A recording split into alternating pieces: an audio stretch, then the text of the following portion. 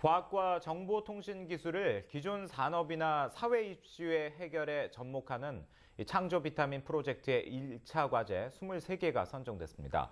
여러 부처가 참여하는 이 사업에는 올해 총 600억 원이 농림수산식품, 문화, 관광, 보건의료 등 7대 분야로 나눠 지원됩니다.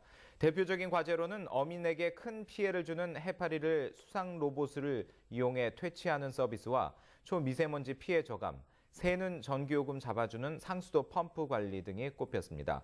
미래부는 올해 30여 개 과제를 선정하는 등 3년 동안 총 120여 개의 창조 비타민 프로젝트 과제를 추진한다는 계획입니다.